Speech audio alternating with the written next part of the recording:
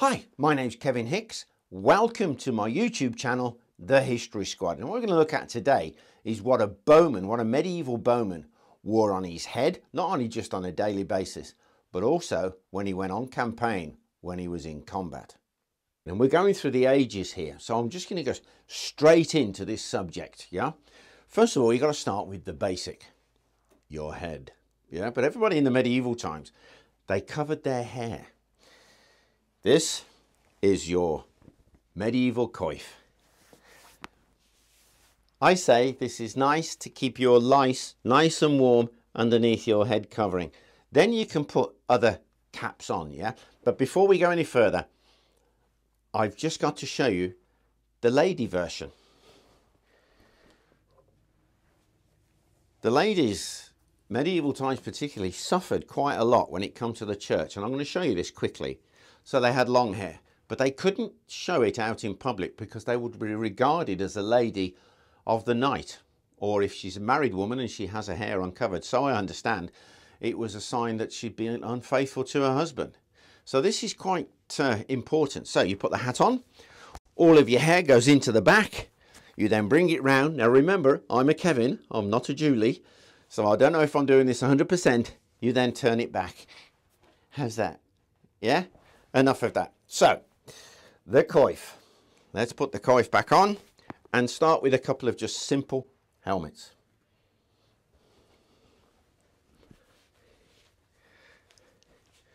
Bowmen weren't always rich.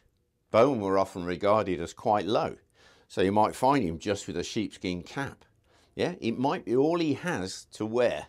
But as he makes his money, he might be able to afford a leather cap.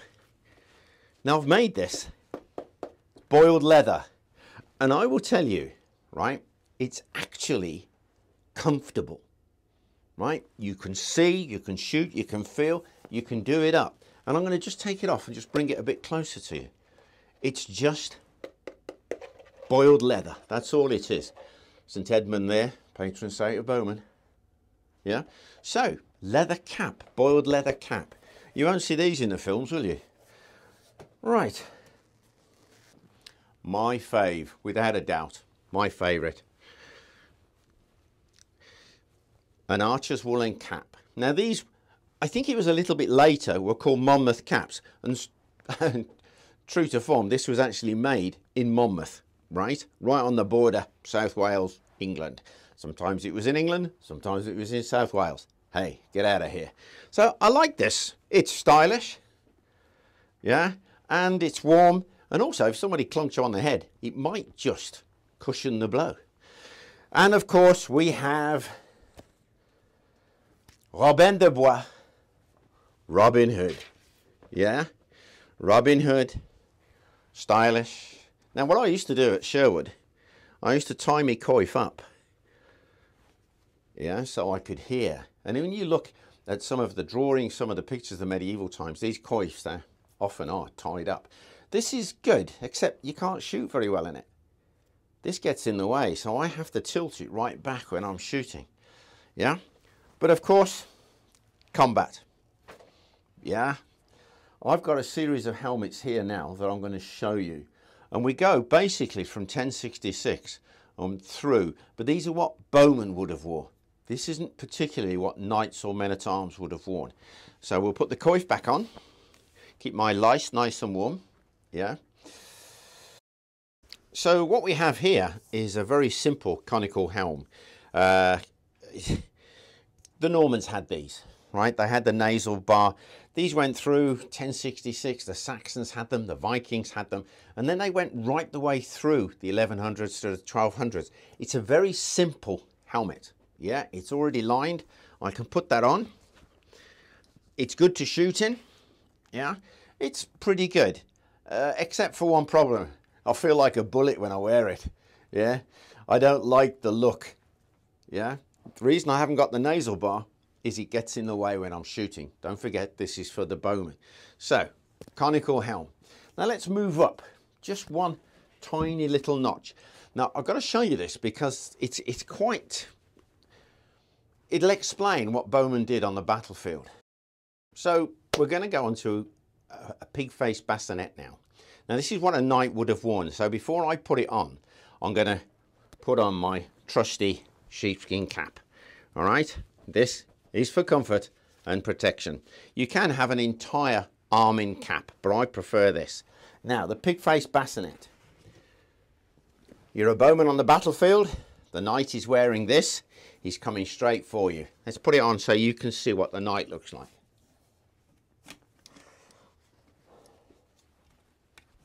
It fits really well. It's very snug.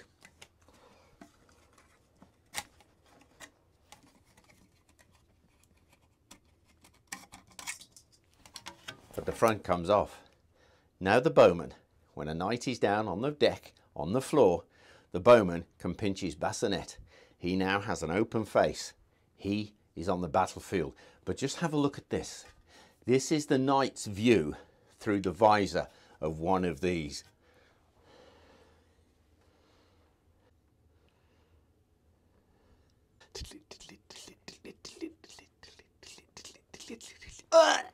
Yeah, because I shot him, right? So, the pig-faced bassinet. The bowman has himself a helmet. Yeah? Now, let's change it.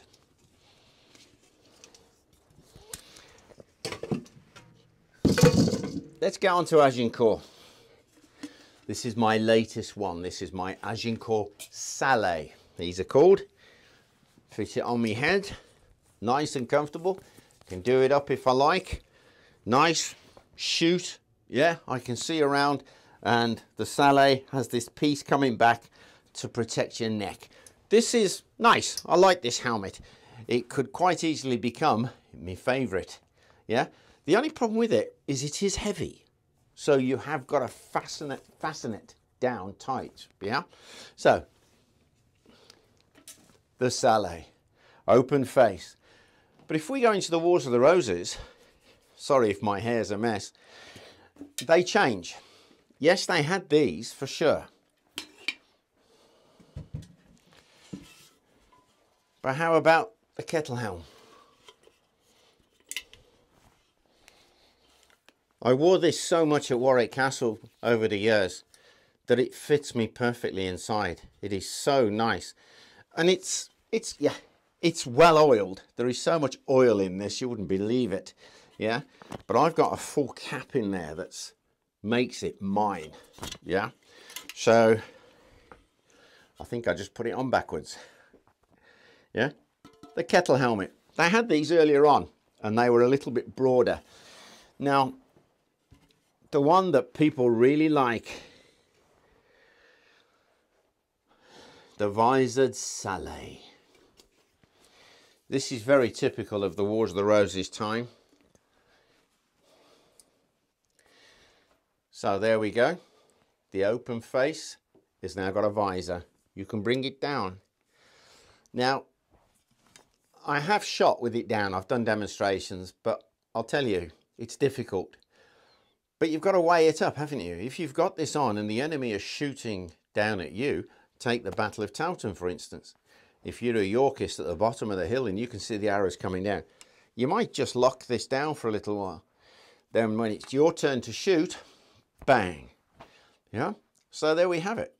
A nice selection, medieval uh, headgear for the bowman, and it's all part of my collection. I am going to add to it, so in the future, stand by. You might meet some new kind of helmets. Well, I hope you enjoyed the film. If you did, please give us a thumbs up and do me a favor share these films if you can yeah let's grow this site and i can make more films yeah but we have a patreon account now so these people are helping me to grow this site as well so i'm going to give you a, a, a thank you for some of the guys. Pg guillaume yeah? Now if i didn't pronounce that right you've got to tell me yeah? Gregory clark thanks mate. And maxwell gross yeah? So thank you very much guys and I'll see you soon. Bye.